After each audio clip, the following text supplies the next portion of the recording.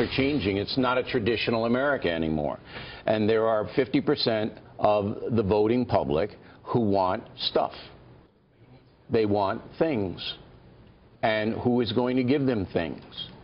President Obama. There is uh, Bill O'Reilly on our election night coverage talking about how people want stuff. And on President Obama's watch, people got more stuff than ever. So between 2008 and 2011, federal welfare payments increased by 32 percent, and food stamps usage surged by 71 percent. So did an entitlement explosion help the president lock up a second term? Joining us now is Fox News senior judicial analyst Judge Andrew Napolitano. There's been so much discussion, Judge, about this so-called tipping point when you get to 50 percent of the population who is getting some sort of a government handout. Um, and, you know, I'm careful to use the entitlement word because some people, vets and such, and Social Security and Medicare, yeah. you know, but we're talking now about food stamps, welfare, Right. et cetera. Right. We're, we're talking about a dangerous situation, which, interestingly enough, was predicted 200 years ago by uh, Thomas Jefferson and Alexander Hamilton, who said, and they rarely agreed on anything, but they agreed on this, when the public treasury becomes a public trough, their word, and when the voters realize this, they will only send to the government people who will promise to bring back the bigger piece of the pie.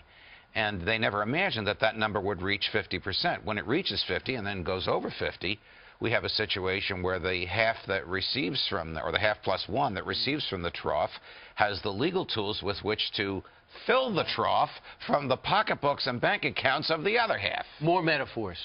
So this, uh, you would think... More truck talk. Bring the pigs out here. You would think the cash cow would be treated like the golden goose and not touched because, after all, they're supplying the 50% who have been feeding at the He trough. is so smart. I thought you went to Stanford. Uh, you never know. I rejected it because uh, did, the but CW Post campus was nicer. Uh, but, uh, but Judge, why would, why don't we covet those those breadwinners more? Why are we treating them so harshly and so badly? Because uh, the people that can control these things, right now the president, know the short-term political gain that they can achieve, like his re-election victory two nights ago, uh, as a result of giving away cash now. They don't see that every dollar they take away from taxpayers, whether they make a million dollars or a billion dollars, is a dollar less to invest in the economy and produce prosperity and jobs. They don't see the long-term effect of raising taxes, You which know- is less economic activity, not more. Sure, and absolutely. So what you're telling us is uh, this class warfare thing is going to go on for a long time. Yes, I'm also telling you, and I'm happy to say this, and you'll know why.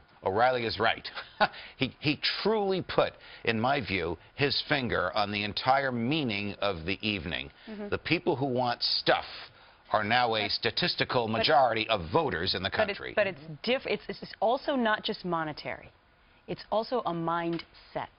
Would you agree with that? Yes, and I think that's the first part of Bill's statement when he said uh, the the majority of the country no longer embraces the traditions that we were taught as children and that our parents and grandparents and ancestors uh, embraced. Things are changing right before our eyes, and uh, we need to be aware of what's happening. Yeah, the judge has written a great column on this topic. You can read the whole thing over at foxnews.com. Judge, thank you very much. for Thank you, joining us. guys. Have a good day.